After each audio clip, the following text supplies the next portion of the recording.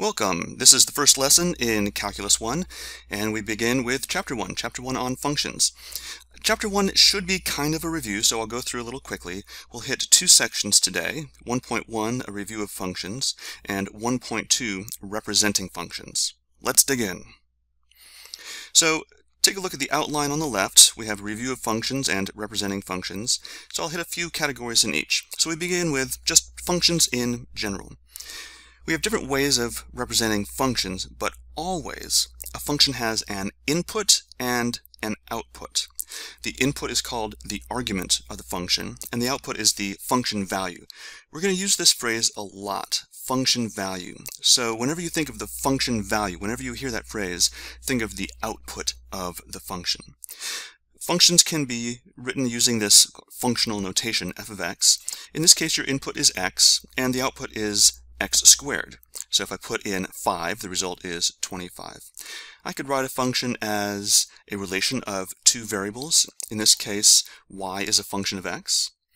And I can even split up my argument. So if, uh, if the input is less than 1, I have a certain output, my output will be 2. And if, the, and if the input is greater than or equal to 1, then the output will be 3. This is called a piecewise defined function. This is not a function. f of x equals plus or minus the square root of x. If I tried to do something like this, let's say f of 9, how would that evaluate? Uh, see, plus or minus the square root of 9 equals plus or minus 3. So like 3 and negative 3, I have two different values. That is not allowed. The key feature of functions is that only one number is returned. Only one number comes as the function value. I put one number in and I get one number out. The domain of a function f is the set of all x values that make f of x a real number. So how about this example down below? The square root of x minus 100. Well, I'm only going to deal in the realm of real numbers. So underneath the radical sign, that guy has to be 0 or greater. I, can't put in negative numbers under the square root sign. So maybe I think to myself, x minus 100 is greater than or equal to 0. I can have 0. The square root of 0 is 0. That's perfectly fine. And what does that tell me about x itself? That tells me that x is greater than or equal to 100. So there's the domain of that function x is greater than or equal to 100. Here's another example we come across a lot, fractions. And what do you know about the denominator of a, of a fraction? The denominator can't be zero. We are not allowed to divide by zero.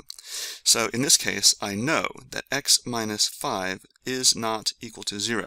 So, oh, what that means for x is x does not equal 5. x can be anything else in the world, any other real number, except 5. So those are the domains of those two functions. Now, the flip side of domain is range. The range of a function f is the set of all the values of f of x as x varies over the domain. So in this first case, f, imagine plugging in all possible values of f, uh, I'm sorry, all possible values of x. What are all the outputs going to look like? And in G, if I plug in every possible value of x, any x that isn't 5, what do all the possible outputs look like? Now, computing range tends to be a much more difficult problem than computing domain. So I won't do it for these problems, but these aren't too bad. Maybe you can see that uh, it turns out that for the f, the range is all non-negative numbers, anything 0 or greater. And g is a little bit trickier. The range of g is any number except 1. So I won't go into the de details, but maybe you could figure that out. All right, composite functions. Let's say we have two different functions. f of x is x plus 3, and g of x is the square root of 4x. How would I figure out f of g of 25? So I always work from the inside out. The first thing I want to do is figure out g of 25. And so I go to the g function, I plug in 25, so that looks like the square root of 100. Square root of 100 is 10. So I'm going to replace g of 25 with 10. And f of 10, now I go up to my f function, 10 plus 3 is 13. What about f of g of x? So the g of x is square root of 4x. So I'm just going to, going to plug in square root of 4x in place of that g. f of the square root of 4x. Now, the result of that, plugging square root of 4x into f is square root of 4x plus 3. It's important to remember that the way a function is defined, look at this f up on top, that x can be anything. It can be x, it can be t, it can be y, it can be a complicated expression. Uh, f of anything is that thing again plus 3. So f of the square root of 4x is the square root of 4x plus 3. So using that idea, let's take a look at this uh, last problem. f of t minus 2k is t minus 2k plus 3.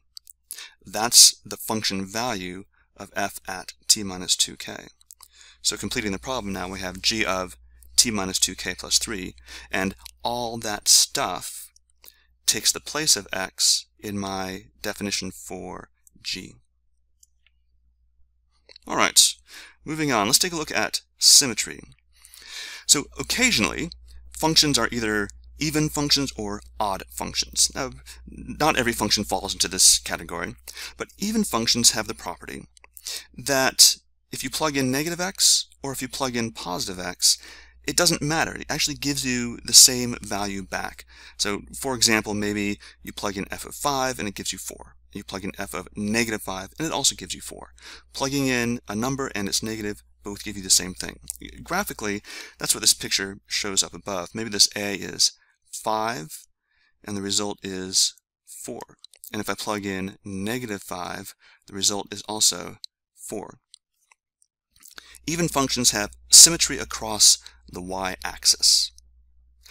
Another kind of symmetry is seen in odd functions. They have the property that f of negative x is negative f of x. So once again, if I put 5s and 4s into this picture, maybe f of 5 is a positive 4.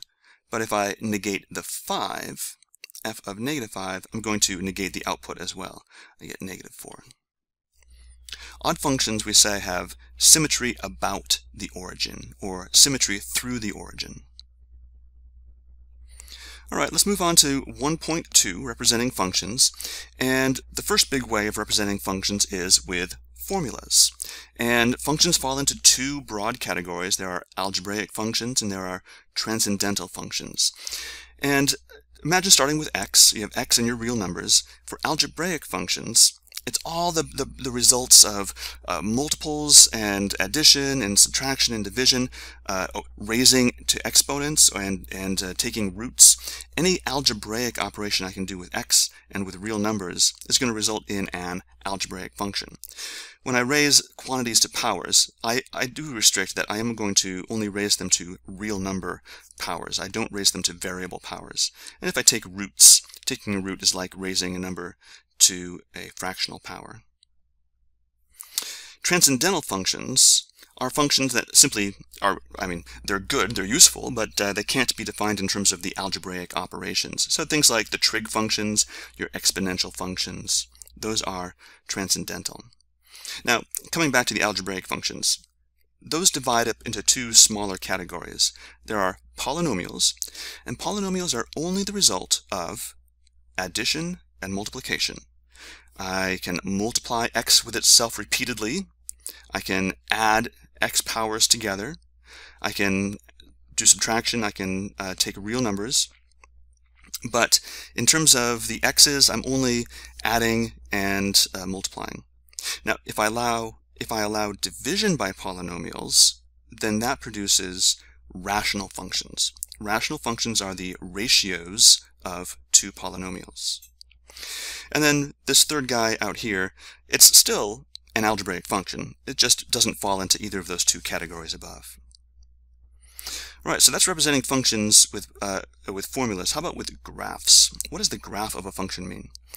Here's a function given symbolically. f of x equals x squared minus 2x minus 1. How do I get from that to the picture? And here's the idea. I start plugging in values. f of 0 equals negative 1. And so I'm going to make an ordered pair 0, comma, negative 1, that's a point that I can plot in the plane. I will plot the point 0, negative 1. And now let's just try something else. f of 1 equals negative 2. So I will plot the point 1 comma negative 2. And we get a point in the plane. And I try something else. Uh, f of 2.71, it turns out, equals 0.9241. And if I plot that point in the plane, I get something kind of over there. And I imagine doing this again and again and again, forever and ever, many, many, millions, millions of times, plotting points. And I'm going to get a whole bunch of points in the plane. And it turns out that if I plot enough of those points, that I get what looks like a nice smooth curve. So in fact, the graph of f is the set of all points xy such that y equals f of x. These are input-output pairs of my function. It's good to think of the graph of a function really as a set of infinitely many tiny points. Don't think of it as a curve snaking through the plane. It's really just a set of points, and every point represents an input-output pair.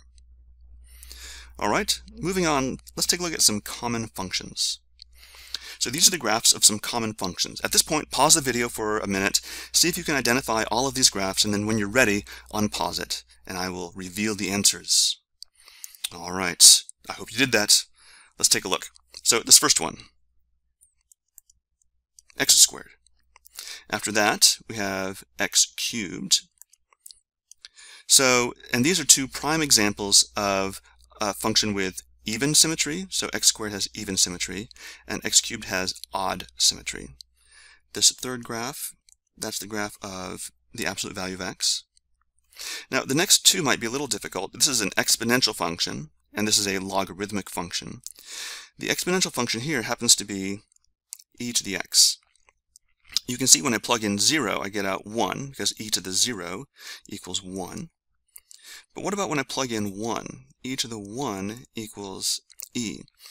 And if I trace that up, it gives me a number up there. And e is a number that's about 2.7. Now, if I take this graph, the graph of e to the x, and I flip it over the line y equals x, I get this picture of the log. And this is the graph of the natural log of x. The two that remain, these are sine and cosine. So sine x is on top, cosine x is the one on the bottom.